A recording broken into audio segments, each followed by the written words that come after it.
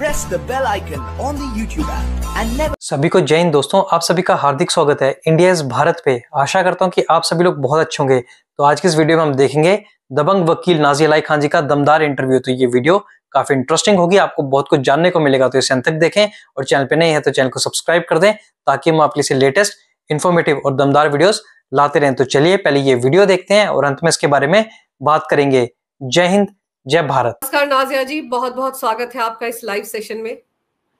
वंदे मातरम भारत माता की जय जय जय Shri Ram. Anju ji thank you so much मुझे लाइव सेशन में इनवाइट करने के लिए।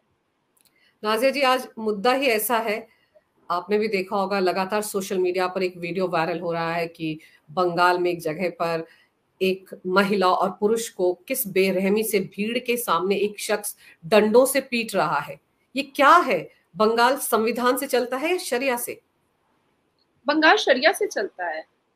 और मैं पश्चिम बंगाल में ही बैठी हूँ और इस घटना के बाद मुझे इतने फ़ोन कॉल्स उत्तर दिनाजपुर से आए हैं और सबके सब जो भाजपा के जो कार्यकर्ता हैं, वहाँ के मंडल प्रेसिडेंट है, वो सब के सब इतने डरे हुए हैं कि जिसको मैं शब्दों में बयान नहीं कर सकती हूँ।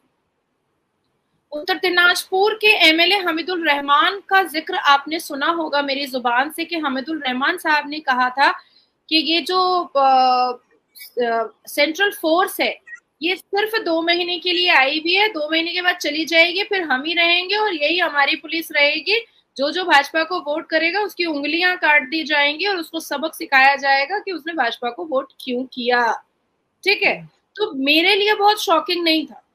या पश्चिम बंगाल में जो लोग बहुत हिंदुत्ववादी हैं या संविधान के मानने वाले हैं, उनके लिए ये शॉकिंग बिल्कुल भी नहीं था क्योंकि लोकसभा इलेक्शन के बाद से अच्छा बहुत सारे लोगों को ऐसा लगा था अंजू जी के उनतीस सीटें ममता लेकर आई हैं तो अब थोड़ी सी बायस नहीं, बल्कि बैलेंस्ड रहेंगी।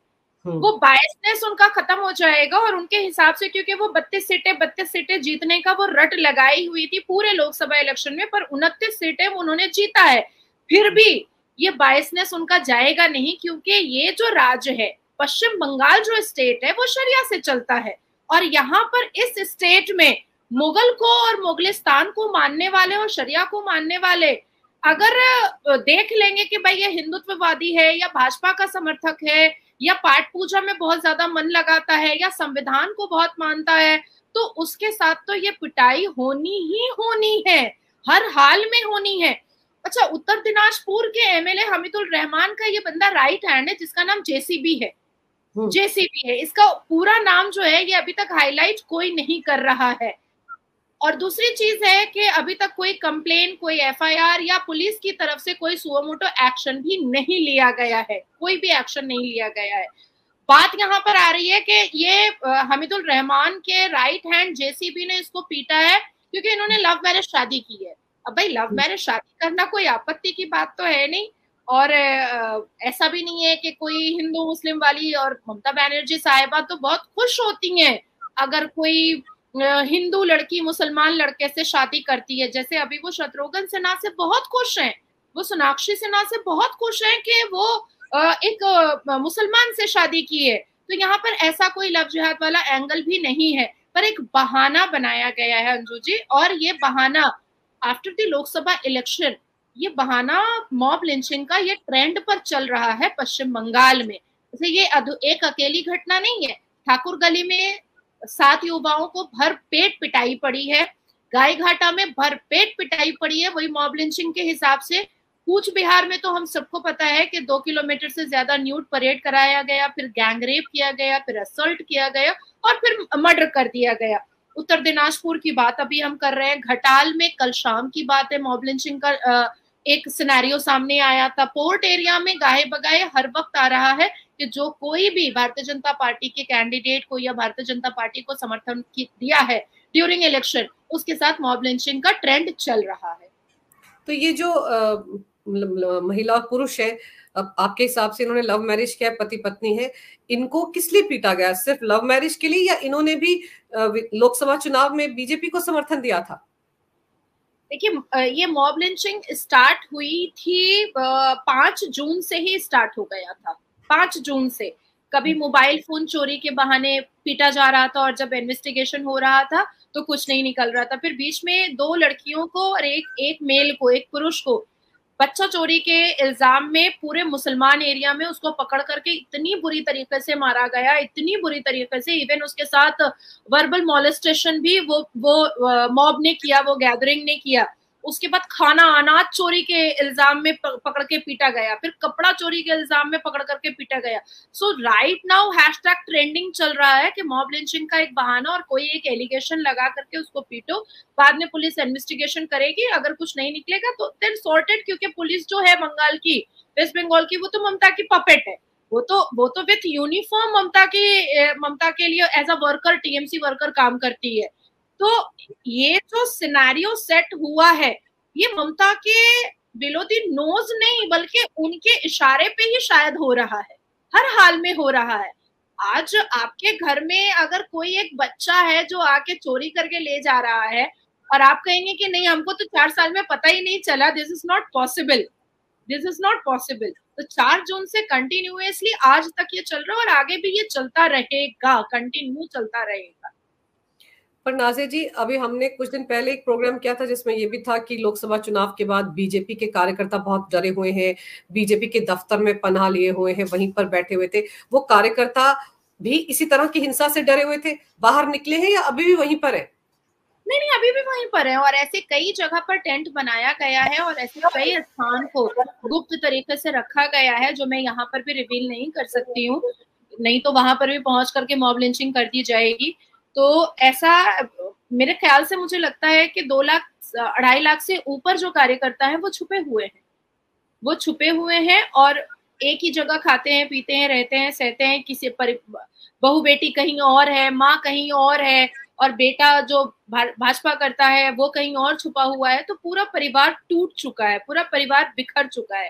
हालाँकि देखिए, इस मॉब लिंचिंग के लिए 2019 अगस्त में वेस्ट बंगाल में टीएमसी के द्वारा ही एक बिल पास करवाया गया था जिसमें गवर्नर साहब का सिग्नेचर भी था the West Bengal prevention of mob lynching act bill और ये पास भी हुआ था। और जब ये बिल प्लेस्ड किया गया था विधानसभा वेस्ट बंगाल में तो गवर्नर साहब बहुत खुश हुए थे बहुत खुश हुए थे।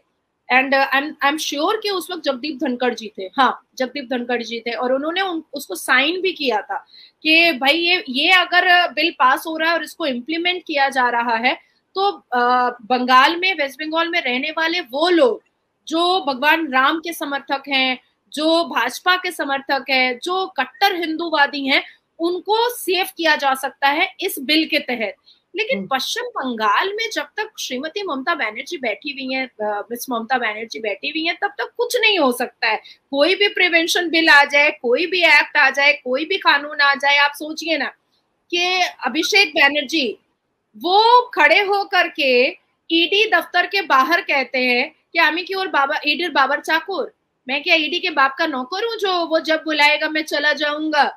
उसके बाद ममता बनर्जी कहती हैं कि भाई कैलकाटा हाईकोर्ट जो है, वो तो बीजेपी कार्यालय बन चुका है, वहाँ पर बीजेपी के इशारे पर काम होता है। संविधान वो लोग, ये टीएमसी कभी मानती नहीं है। तो टीएमसी ने ये कसम खाया हुआ है और ममता बनर्जी साहिबा ने ये कसम खाया हुआ है कि किसी भी हाल में वो ना संविधान मानेंगी और ना ही अपना प्लेस्ड किया हुआ बिल जो उन्होंने पास करवाया है संविधान से, उसको मानेंगी। बस मुँह से अगर जय श्री राम निकल गया तो मॉब लिंचिंग होनी है। अगर मुँह से भगवान भगवान कृष्ण का नाम निकल गया तो फिर उसको जेल जाना ही है। मुँह से अगर संवैधानिक बात निकल गई तो फिर एफआईआर होना ही है। पश्चिम बंगाल वो स्टेट है, वो राज्य है, जहाँ पर सीबीआई ऑफिसर लॉकअप होते हैं, जहाँ पर एनआईए ऑफिसर को भरपेट पीटा जाता है और फिर उनके ऊपर भी रेप के आरोप लगा करके एफआईआर काटे जाते हैं। पश्चिम बंगाल वो स्टेट है जहाँ पर नेशनल न्यूज़ के एंकर्स आते हैं तो उनको, उनका मर्डर करने की कोशिश की जाती है। ये है पश्चिम बंगाल। पश्चिम बंगाल में ईडी ऑफिसर्स डरे हुए रहते हैं कि उनको सुप्रीम कोर्ट जाकर के बोलना पड़ता है कि हम उस एरिया में, उस ग्रामीण में नहीं जा सकते, नहीं तो मेरा मर्डर हो जाएगा। तो ये आप समझ लीजिए कि पश्चिम बंगाल सेवेंटी परसेंट मुगलिस्तान बन चुका है, बन चुका है। दोस्तों, आशा करता हूँ कि वीडियो को आपने अंत तक देखा होगा और हमेशा की तरह नाजिया लाई खान जी का दमदार और बेबाक अंदाज आपको काफ़ी पसंद आएगा जिसमें आपने देखा नाजिया खान जी ने पश्चिम बंगाल में चल रहे शरिया कानून को कैसे एक्सपोज किया, पश्चिम बंगाल अब पूरी तरह से मुगलिस्तान बन चुका है, जहाँ पे जो भी जय श्री राम का नारा लगाएगा या सच बोलेगा, उसके साथ यही सलूक होगा, या फिर उसको जान से हाथ धोना पड़ेगा, या फिर वो सलाखों के पीछे होगा। तो आप देख रहे हैं, पश्चिम बंगाल के हालात दिन ब दिन बदतर होते जा रहे हैं। तो इसके बारे में आपके क्या विचार हैं? आप अपने विचार हमें कमेंट सेक्शन में लिखकर ज़रूर बताएँ। और एक बार फिर, चैनल पे नहीं है तो चैनल को सब्सक्राइब कर दें, ताकि हम आपके लिए लेटेस्ट और दमदार वीडियोस लाते रहें। तो चलिए फिर मिलेंगे ऐसी किसी ज़बरदस्त वीडियो में। तब तक अपना ध्यान रखिए। जय हिंद, जय भारत।